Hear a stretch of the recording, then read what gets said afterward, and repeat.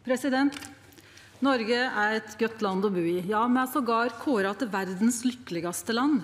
Det seier noko om at Noreg er eit land med moglegheiter for alle til å leve gode liv. Med har ei høgt utdanna befolkning, med store naturressursar, små forskjellar og ein open økonomi som bidreg til effektiv produksjon og varebytte. Men me har òg utfordringar. Det alvorlege oljeprisfallet me opplevde i 2014 gav oss en påminning om sårbarheita i det å ha ei så stor og dominerende næring. Behovet for omstilling og fleire bein å stå på har vore regjeringas fremste oppgåve i førre stortingsperioden. Finans- og pengepolitikken som regjeringa har ført, har vore godt tilpassa den situasjonen i norsk økonomi. Partane i arbeidslivet har opptredd ansvarleg, og fallet i kronekursen har gjort norsk eksportindustri meir konkurransedyktig og betyr Noreg betydeleg billigare som reisemål for turistar. Det vises i sterk vekst i eksport av sjømat og en sterk vekst i reiselivet. President, Det er gledeleg å oppleve på bedriftsbesøk, om det er i mitt heimfylke Telemark eller på besøk i Hordaland, at det er optimisme blant bedriftsleiarane.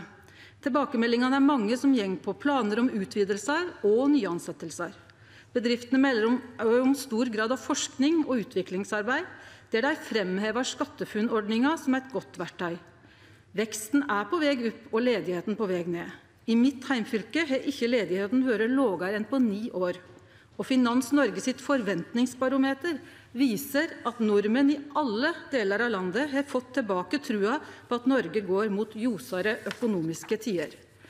President, Klimaendringane me opplever i verda, vil gje oss meir ekstremvêr, og me vil heller ikkje i Noreg sleppe unna store øydeleggingar og dramatiske situasjonar, slik som nett no under flommen i Agder. At klimaendringane er ei av våre store utfordringar, er dei fleste einige om, og klimaavtala frå Paris 2015 forpliktar oss til å setje dette på dagsordenen i alle sektorar. Rundt ein tredjedel av klimagassen er tilknytta transport.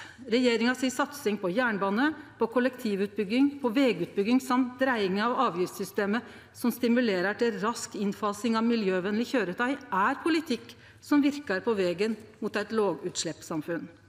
President, I Telemark har me mykje industri, og me var stolte over at næringsministeren valde Herøya industripark som staden for å leggje fram industrimeldinga som den første sidan 1981.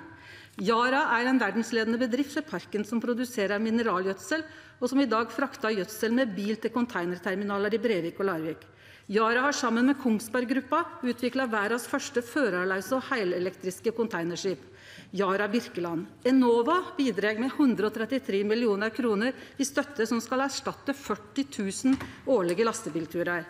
Dette er et eksempel på et prosjekt, et samarbeid mellom offentlig og privat næringsliv for å utvikle ny teknologi og skape nye næringar.